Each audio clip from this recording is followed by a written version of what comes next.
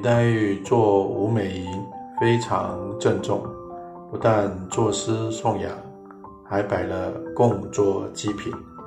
究竟这是单纯的祭奠吴美，还是暗藏其他玄机呢？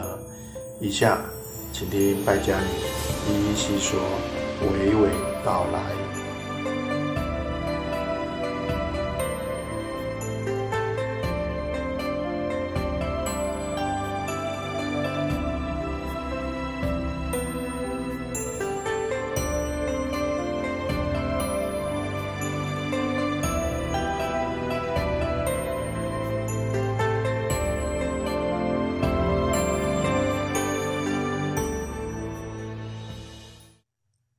家好，我是败家女，欢迎收听我的节目。《红楼梦》里有五位和林黛玉容貌、体态、性格和悲剧命运相似的女孩，在形象上，她们既是独立的，又是互补的，因而形成一己两名的效果。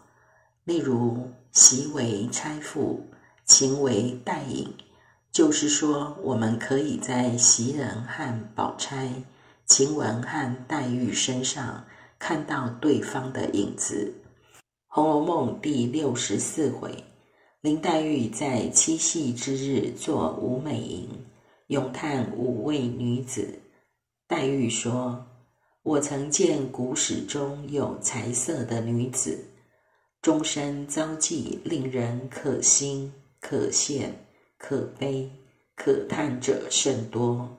今日饭后无事，应择出数人，胡乱凑几首诗，以寄感慨。诗中所咏之人，正好照应着小说中五位与黛玉互为身影的女子。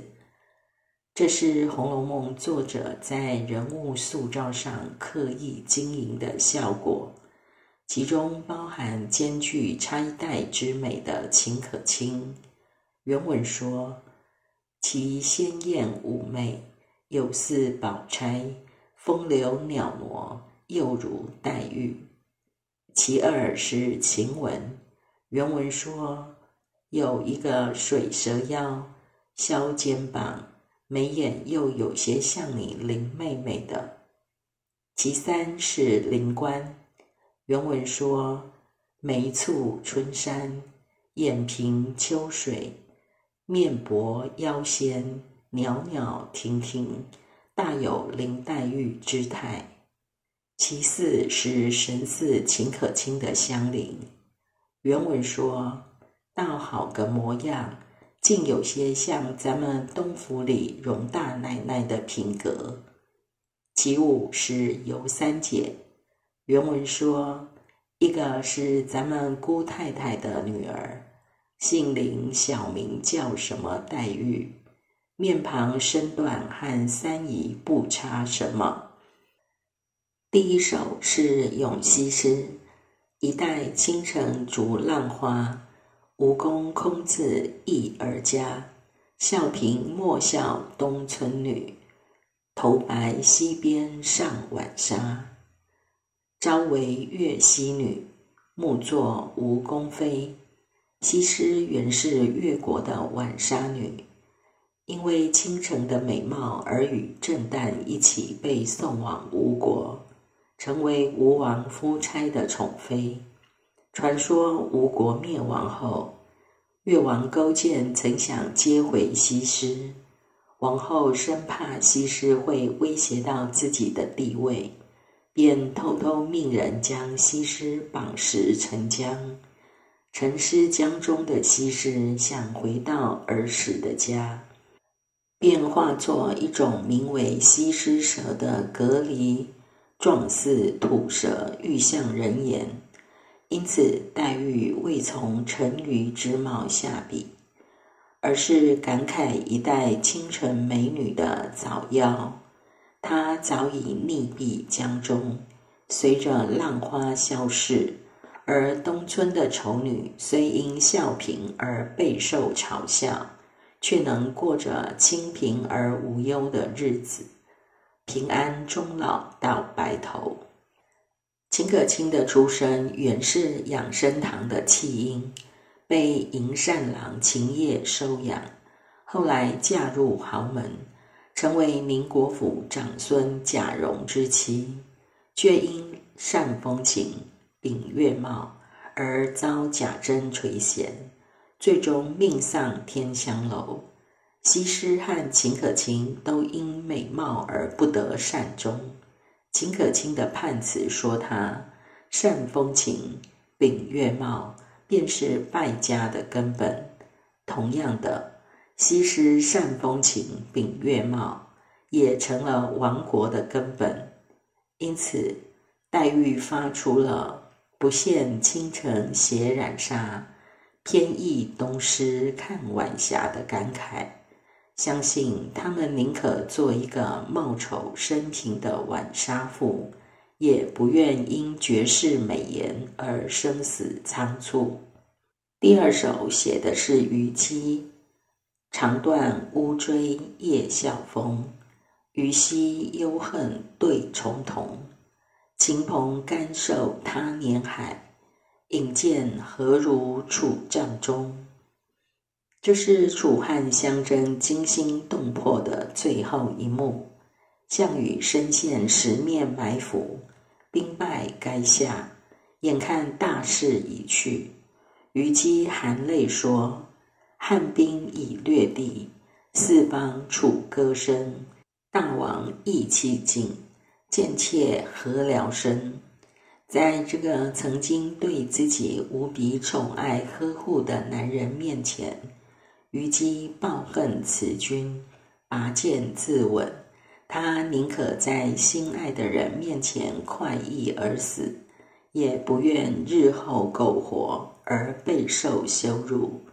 相较于卖主求荣的英布和彭越，最后反被刘邦剁成肉酱的下场，虞姬直本劫来还劫去。强于乌闹陷渠沟的坚贞不屈，在这些男人面前更显强大。而晴雯因风流灵巧招人怨，被王夫人逐出大观园。她是怡红院中最受宝玉宠爱的丫鬟，是难逢的霁月，易散的彩云。死前，他把自己手上两根长指甲咬下来给宝玉，跟宝玉交换彼此的贴身肚兜，用最刚烈的方式向宝玉告白。他始终守身如玉，岂容贾府那些谣言秽语栽赃污蔑？直本劫来还劫去。强于污闹陷渠沟的清白高贵，到死都要捍卫。第三首《明妃》，绝艳惊人出汉宫，红颜命薄古今同。君王重视青颜色，予夺权和壁画宫。《西京杂记》里面说，元帝后宫既多。不得常见，乃使画工图形，按图照信之。诸工人皆录画工，多者十万，少者亦不减五万。独王强不肯，遂不得见。匈奴入朝，求美人为胭脂，于是上岸图，以昭君行，即去召见。貌为后宫第一，善应付，举止优雅。帝悔之，而名疾已病。帝重信于外国，故不复更人。意思是，绝美的王昭君因不肯贿赂画工毛延寿，以致汉元帝不曾召见过他。后来匈奴来使求经。汉元帝按宫女图选出画像平平的王昭君出塞和亲，临行前才见到拥有落雁之美的王昭君。她举止端庄，谈吐优雅，媲美西施沉鱼之貌，令汉元帝悔恨不已，但又无法失信于单于，只好忍痛让王昭君出宫远嫁。黛玉同情以身许国、为国牺牲的王昭君，感叹红颜命薄古今同，认为古今红颜都有身不由己的悲哀。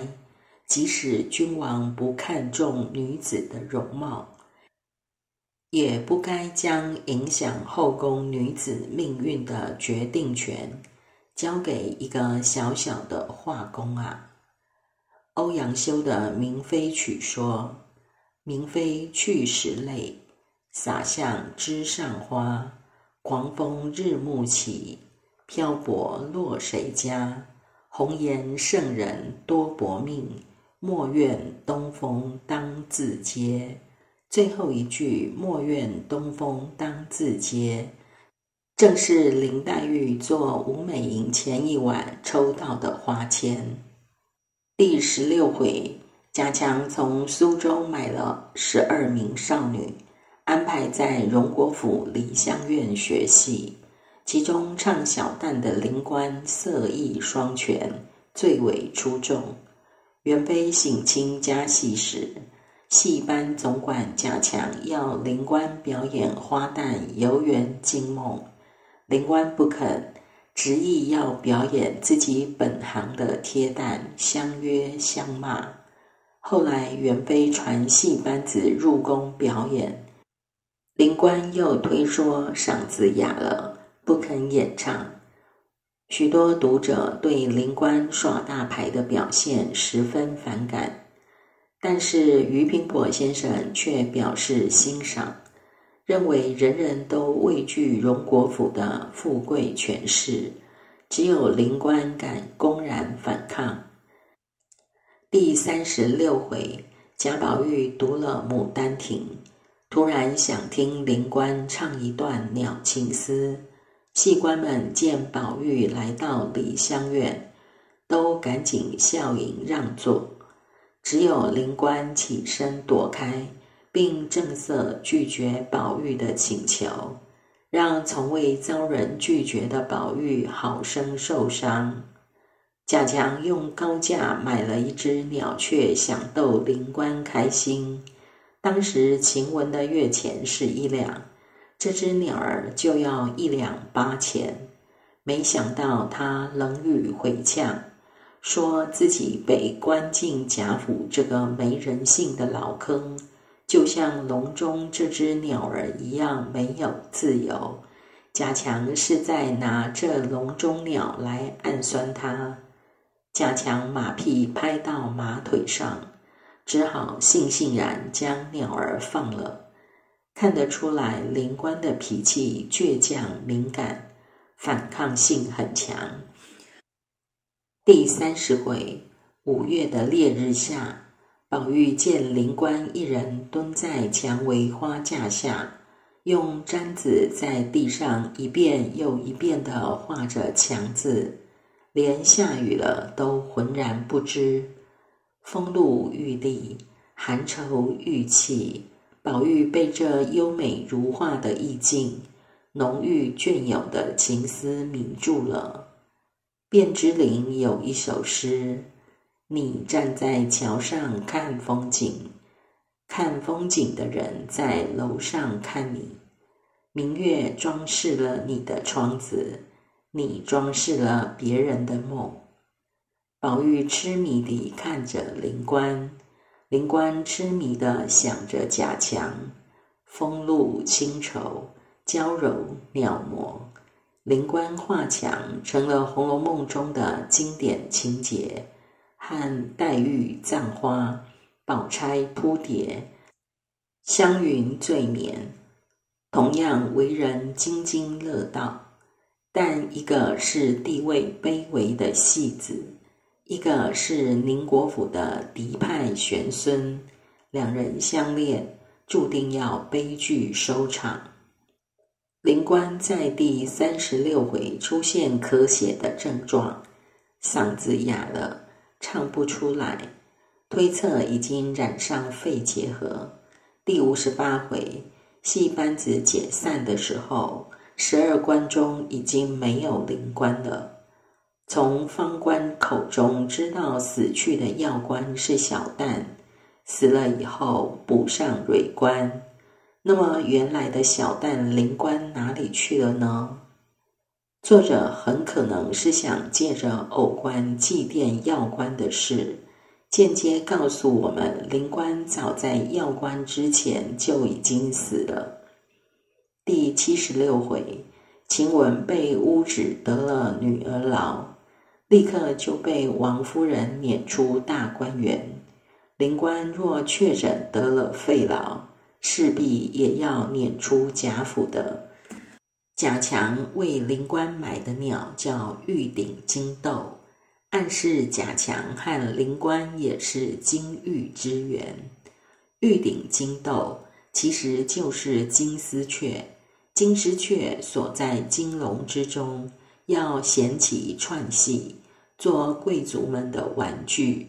灵官是渴望自由的金丝雀，使之所向金龙听，不及林间自在啼。但灵官染病了，离开了贾府这个牢笼，他能活得下去吗？黛玉给出了绝艳惊人出汉宫。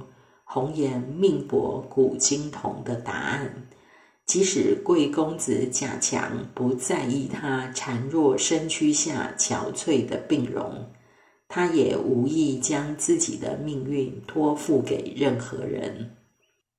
红颜圣人多薄命，莫怨东风当自嗟。《红楼梦》的作者已经含蓄地告诉我们。灵官已悄无声息地死在贾府外了。第四首绿珠，瓦砾明珠一粒抛，何曾十味众娇娆？都缘玩福前生造，更有同归未及了。绿珠是西晋豪臣石崇的爱妾。当时，另一位权臣孙秀向石崇强索绿珠遭拒，便怀恨设计陷害石崇。石崇在金谷园被捕时，对绿珠说：“我因你而获罪。”绿珠明白石崇不愿孙秀因此夺得所爱，便哭着说：“妾当笑死君前。”不令贼人得逞，于是坠楼自尽。孙秀后来杀了石崇全家十五口泄愤。《世说新语·太史篇》记载，石崇每邀客宴集，常令美人行酒，客饮酒不尽者，使黄门交斩美人。意思是，石崇每次宴客。常常要美女劝酒，若客人不愿饮酒，就叫家奴斩杀劝酒的美人。可见石崇骄奢残忍，杀人如儿戏，视美人如瓦砾。绿珠是石崇以石斛珍珠换来的。石崇爱炫耀，喜欢与人斗富。绿珠实际上只是贵族奢侈享乐。相互争夺的牺牲品。林黛玉对石崇的作为十分不以为然。她说：“美女不管是瓦砾还是珍珠，石崇同样随意抛弃，不曾怜惜。对待绿珠，哪里算是真心的疼爱呢？如果不是前世造福积德。”今生又有什么资格与美女同归于尽，相伴共赴黄泉呢？在《红楼梦》里，薛蟠为争夺香菱，打死冯渊，仗着自己的前世地位，为所欲为。到手之后又不加以怜惜，任由夏金桂百般凌辱，香菱冤死，与绿珠坠楼。同样都是遇人不淑，在不得已之下所做的人生选择。第五首《鸿福》，常见雄谈太字书，美人巨眼是穷途。失居余气阳公墓，岂得羁迷女丈夫？